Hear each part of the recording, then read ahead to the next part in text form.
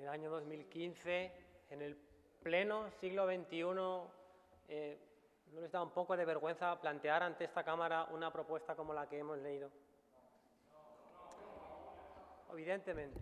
He contado en un párrafo de este tamaño aproximadamente 11 veces la palabra nación y otras 8 que España es una gran nación. Yo creo que hubieran ahorrado tiempo, tinta y papel si hubieran puesto directamente que España debe ser otra vez una grande y libre, que es la idea que está de fondo prácticamente en el texto que hemos leído.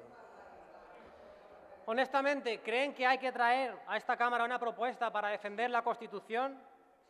¿Nos toman de verdad por tontos? Perdone, le he parado el tiempo. Si de verdad quisieran defender... Señor, señor diputado, un segundito. Pido el mismo silencio que ha habido con las dos intervenciones anteriores. Por favor, respeto al diputado que está utilizando la tribuna. Respeto a todos los diputados y diputadas de la Cámara e igual, independientemente del grupo parlamentario que estén representando. Prosiga, señor diputado. Gracias.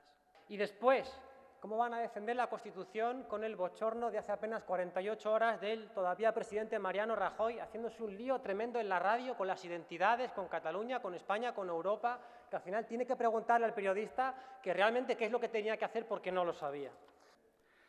Pero ¿a usted realmente le importa España con la intervención que ha hecho? ¿Le importa más aún? Le voy a decir una cosa, señor Jaén. ¿A usted le importa Extremadura? Si le importara a usted España o Extremadura, no hubiera hecho la intervención netamente de un independentista como ha hecho.